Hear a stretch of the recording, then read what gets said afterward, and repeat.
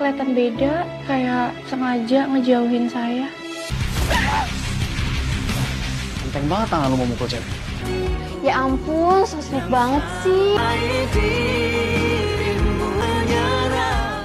Pasti makin penasaran kan dengan kelanjutan My Heart.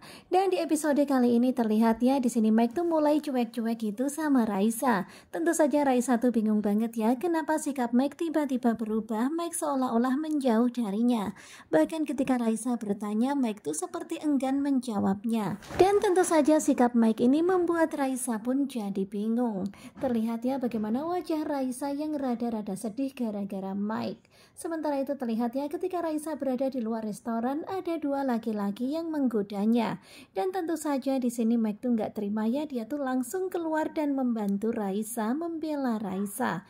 Tadi tuh dikira mimpin tuh ini tuh Rio ya, rupanya bukan. Rupanya cowok-cowok yang lagi pada godain Raisa, jadi ini diralat ya. Kemudian Mike pun menghajar kedua laki-laki itu. Tentu saja Mike tuh sangat terpancing emosi ya, berani-beraninya dua laki-laki itu mengganggu Raisa. Kemudian di sini Raisa melihat ada luka lebam di wajah Mike dan Raisa pun berusaha untuk mengobati lebamnya Mike. Terlihat ya bagaimana Mike begitu terpana melihat Raisa ketika Raisa mengobatinya. Tetapi tetap saja tatapan matanya kosong ya seperti ada sesuatu yang berat yang dipikirkannya. Di sini Raisa tuh masih bingung ya ada apa sebenarnya dengan Mike. Sementara itu terlihat ya para customer yang ada di tempat itu berkata kalau Raisa dan Mike so sweet banget. Eh ya, ya pastinya jadi salah tingkah dong ya ketika orang-orang berkata seperti itu.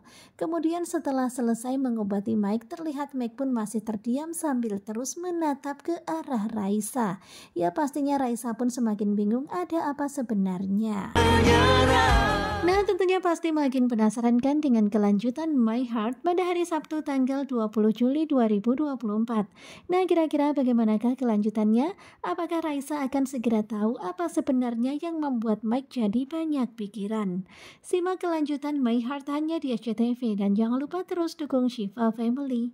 Terima kasih ya buat kalian yang sudah selalu setia dan jangan lupa nantikan video selanjutnya. Terima kasih dan bye-bye.